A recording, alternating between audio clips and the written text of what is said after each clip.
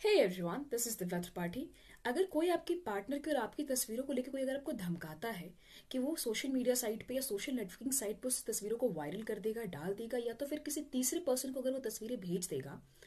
तो आप इस धमकी के खिलाफ अपने नियरेस्ट पुलिस स्टेशन में रिटर्न कंप्लेन दे सकते हैं, जिसमें उस इंसान को सेक्शन 503 आईपीसी के सेक्शन 503 और 506 के अंतर्गत उस इंसान को दो साल तक की सजा हो जाएगी और फाइन दोनों। तो डर के मत रहिए, अगर कोई भी इस तरीके से अगर फ़ायदा उठाना चाहता है, अगर आपका और धमकी दे रहा है, उसके खिलाफ एक्शन ज़रूर लीजिए। अपने कानून को जानिए और घबराइए मत। Thank you everyone